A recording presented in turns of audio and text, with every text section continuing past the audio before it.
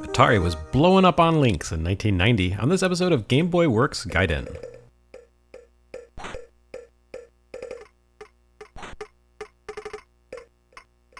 Covering Lynx's 1989 releases was easy enough, given that there were just five of them. But moving into 1990 and beyond is a little trickier.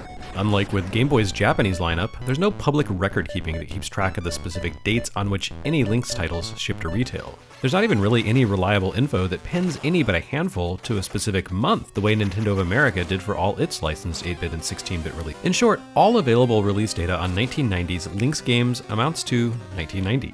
While it might be possible to reconstruct something of a release schedule by poring over magazine reviews and advertisements, even that would be a vague approximation. It wouldn't account for print lead times, shifts in distribution schedules once review code was distributed to the press, and the fact that games were competing with three brand new consoles Game Boy, Genesis, and TurboGrafx 16, along with NES at the peak of its power, all of which the press were likely to prioritize over Lynx.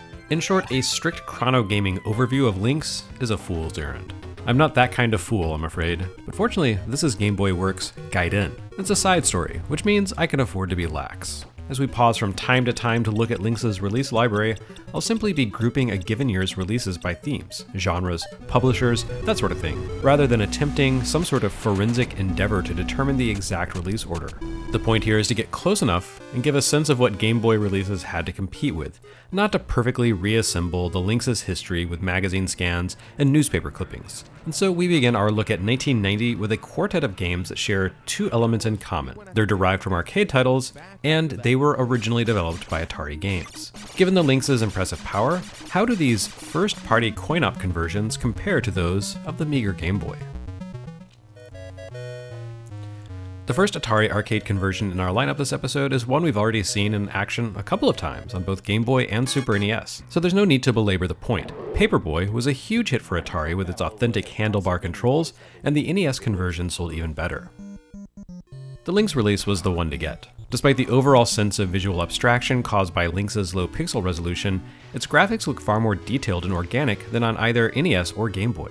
The blocky awkwardness of Mindscape's Nintendo conversions is absent here, and even with its scaled down screen objects, Paperboy on Lynx recaptures the essence of the arcade game. The hardware's widescreen format doesn't hurt either. It allows the player's avatar to ride toward the center of the screen rather than being crammed into an awkward corner as on Game Boy.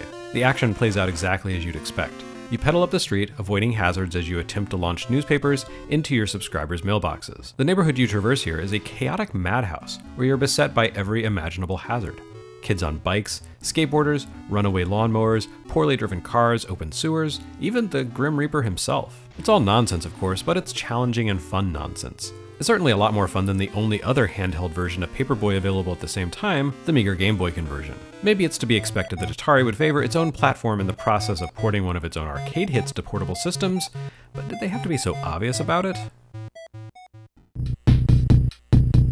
Klax was Atari's entry in the puzzle game genre that everyone wanted a bite of following Tetris's success. I'm afraid it's not on par with Tetris, but then what is? It's not a bad game by any means. It is, however, sideways. Here, let's fix that.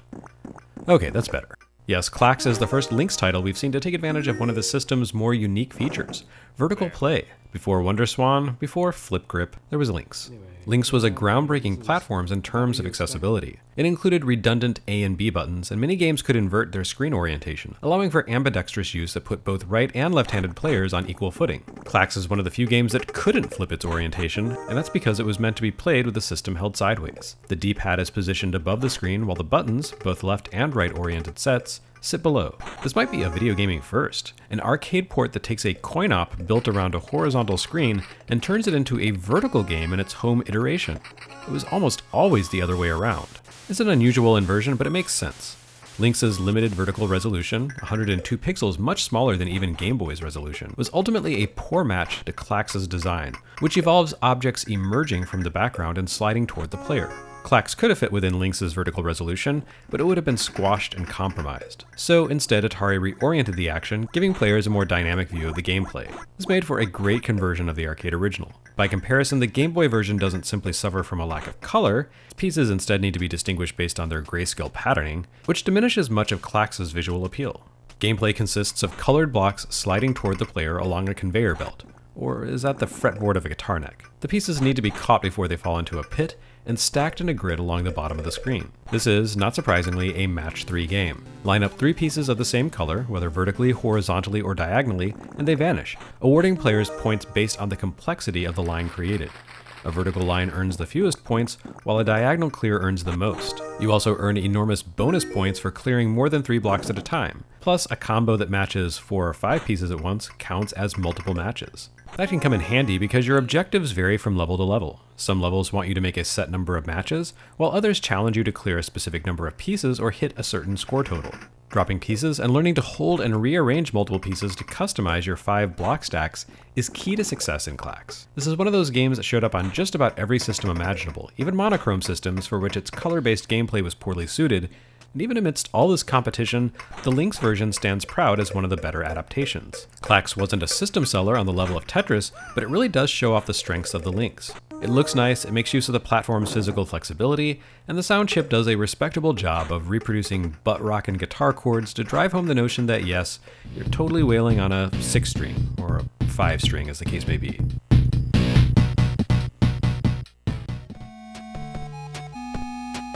Even more impressive is the Lynx's conversion of minor arcade hit Road Blasters. Best described as an updated riff on Midway's Spy Hunter, Road Blasters combines stunning speed with highway-based gunplay. It's a simplistic and frankly sort of mindless game, but that doesn't keep it from being addictive and highly replayable. It's Outrun with guns, so like, Outgun. You control a red sports car with a mounted machine gun as it streaks down the highway, racing to reach the finish line before running out of fuel, dodging indestructible black sedans. You earn points by blasting yellow vehicles or motorcycles, and you can temporarily upgrade your weapons loadout by catching gun upgrades dropped into the fray by passing aerial drones. So like I said, it's basically Spy Hunter with a pitched perspective rather than an overhead one. The primary factor that sets Road Blasters apart is the need to collect fuel en route to the finish. By collecting the green and red orbs that appear along the highway, you replenish a touch of your precious fuel gauge. Run out of gas, and it's game over. The highway streaks past at high speeds, with targets and obstacles alike popping in suddenly, so Road Blaster demands a fair amount of skill and reflex. It has a decidedly old school arcade feel to it, and not just in terms of its speed and challenge level either. Road Blaster begins with the same risk reward proposition as vintage Atari arcade hits like Tempest, do you start at a difficult advanced level and rake in a score bonus? Or do you begin from level 1 and play it safe while foregoing the extra points? This is a score chasing test of reflexes that has no greater pretenses. And its Lynx conversion is fantastic. If not for the massively reduced pixel resolution, you could honestly mistake the Lynx game for the arcade original. The colors and design of the graphics are reproduced accurately, and more importantly, the breathtaking sense of speed comes through perfectly as well. Okay, maybe not perfectly. The game is much easier here to read in RGB capture than it is on an actual Lynx screen, which is much smaller, much blurrier, and far more washed out. Still, on a technical level, Road Blasters does a great job of bringing the arcade experience into handheld form. It compares favorably with the Sega Genesis version, which is no small feat for a portable system. Atari sold Lynx on the prospect of a true arcade experience in your hands, and with its silky smooth action, Road Blasters is a rare case of Lynx living up to its billing.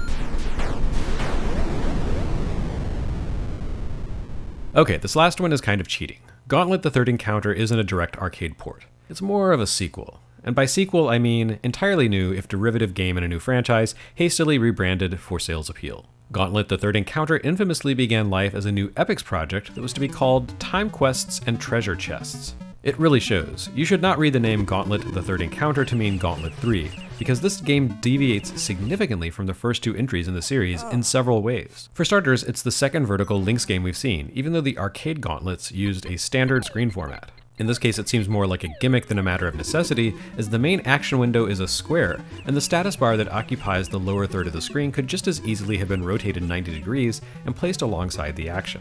The vertical arrangement does highlight one of the curious additions to this game that hints at its non-gauntlet origins a picture-in-picture viewpoint of the dungeon. This player's quest in the main window, which takes the same top-down format as the original Gauntlet, a section of the status bar displays a rudimentary rendition of the player's perspective. Enemies and treasures ahead of the player on the upper screen appear in this window, scaling relative to their proximity to the player.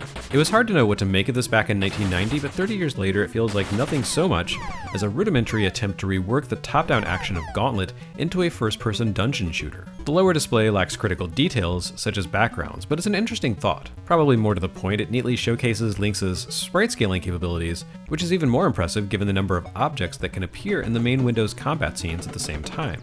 It's worth noting that the main window ultimately displays fewer objects than you'd see in an actual Gauntlet game, though.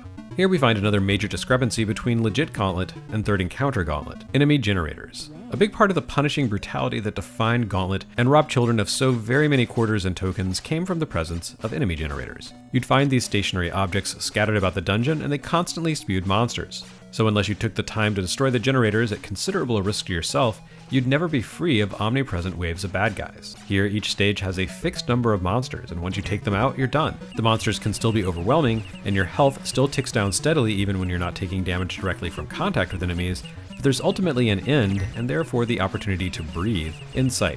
So, okay, it's not exactly Gauntlet, but it kind of does a decent bit of justice to the series. For starters, the third encounter makes use of the ComLynx communication cable to allow up to four people to play simultaneously. That's a pretty impressive proposition.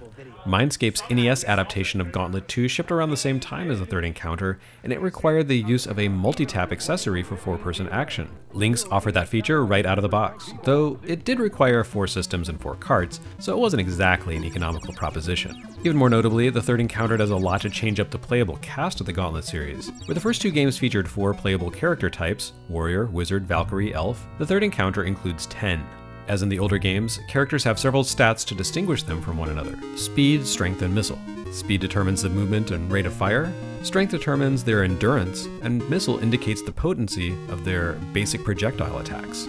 These characters range from incredibly useless, namely the nerd who has the poorest strength and missile stats, to incredibly useful, such as the gunslinger and the samurai, both of whom offer respectable speed and power. The other new classes include a punk rocker, pirate whose projectile is in fact a parrot, and an android that some allege Google ripped off for its mobile OS mascot. These different characters go a long way toward encouraging replay and mixing things up with multiplayer sessions. They don't make up for the lack of randomization and dynamic monster generation that you would expect in a Gauntlet game, but they do give the third encounter a bit of personality.